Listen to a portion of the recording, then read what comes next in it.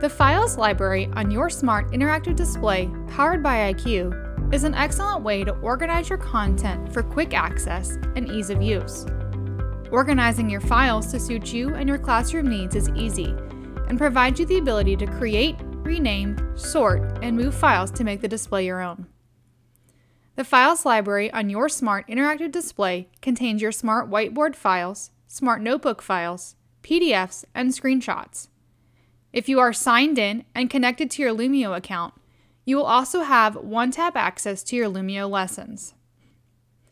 Flexibility within the Files library allows you to organize your content in the way that suits you. With the ability to rename files and organize by folders, you can create easy access to subject-specific or level-specific content. You can also create student reference material such as website lists, PDFs, or scholarly texts and articles for students to access as needed.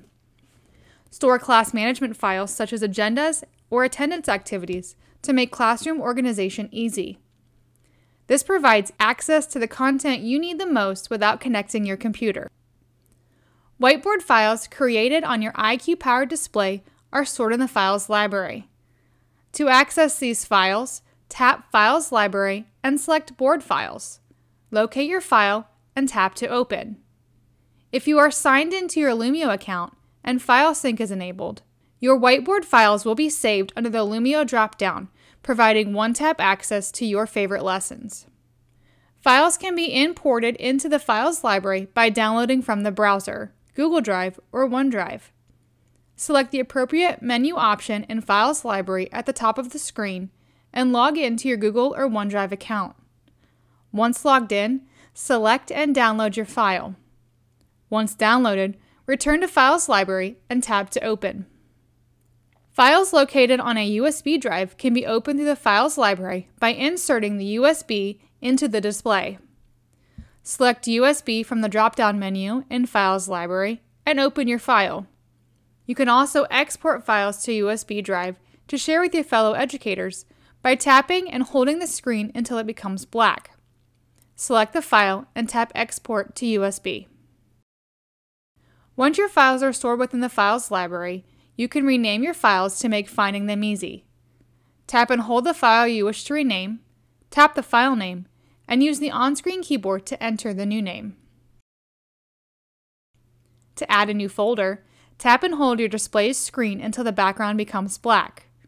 Tap the folder plus icon to add a new folder and rename the folder using the on-screen keyboard.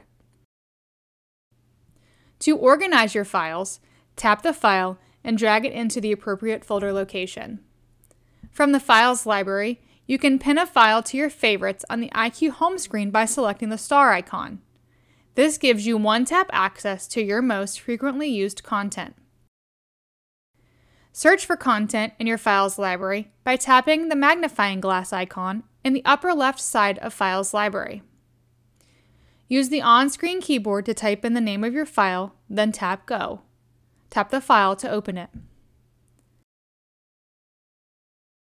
The Files library on your smart interactive display, powered by IQ, makes it easy to sort your content for quick reference and easy access. With the ability to create folders, rename your files, and import your content from multiple locations, Files Library makes organization easy so you can quickly start teaching. Explore our Getting Started in 5 Steps resources to learn more about all of the exciting features of your smart interactive display powered by IQ.